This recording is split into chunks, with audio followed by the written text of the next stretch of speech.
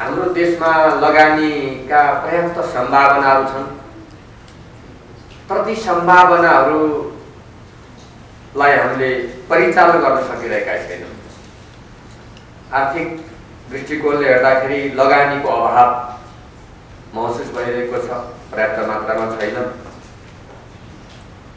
कतै लगानी हामीले अहिले लिनका लागि हाम्रो आफ्नो कुटनैतिक प्रयास अझ कुटनीतिको क्षेत्रमा हामीले मेहनतै गरिरहेका छैनौँ।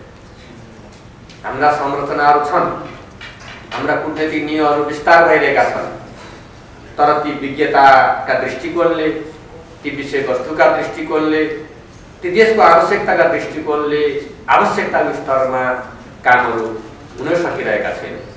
त्यसको प्रतिफल हामीले लिन सकिरहेका छैनौँ। यसर्थ हामीले संरचनागत सुधार आजको आवश्यकता हो। आज हामी संरचनाको सुधार नगरिकन नेपालमा सजिलै अब लगानी आउन सक्दैन। अब मित्र राष्ट्रहरूको लगानी आइरहेको छ। त्यो अमेरिकाको त्यो भारतको चाइनाको अथवा जापानको तमाम लगानीहरू। हाम्रो प्रयासभन्दा पनि ती देशहरूकै आर्थिक कुटनीतिको कारणले हामीले प्राप्त गरिरहेका छौँ। हाम्रो प्रयास कमजोर छ। तसर्थ हामीले आफ्ना प्रयासहरूलाई बढाउनु पर्ने आवश्यकता छ र हाम्रा र लगानी ल्याउँदा पनि हामीलाई चुनौतीहरू छन्। मैले सुरुमै भने हामी एउटा यस्तो रणनैतिक भूगोलमा छौँ ठाउँमा छौँ त्यसको प्रभाव एक देशबाट आएको लगानी अर्को देश सशङ्कित हुन्छ अर्को देशबाट आएको अर्को देश सशङ्कित हुन्छ।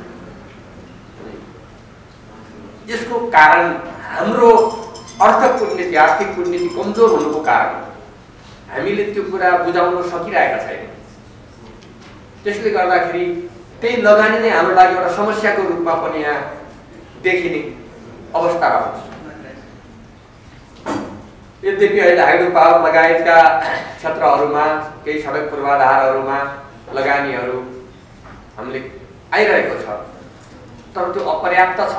आएकोमा पनि के छ भन्दाखेरि एक अर्कोलाई सन्तुलन गर्न हामीलाई गाह्रो भइरहेको छ। त्यस कारण हामीले सन्तुलित एउटा परराष्ट्र नीतिलाई आत्मसात गरेर सबै ठुला र विकसित राष्ट्रहरूसँग सन्तुलितको सम्बन्ध राखेर मैत्रीपूर्ण सम्बन्ध राखेर मात्रै हामी अगाडि बढ्न सक्छौँ।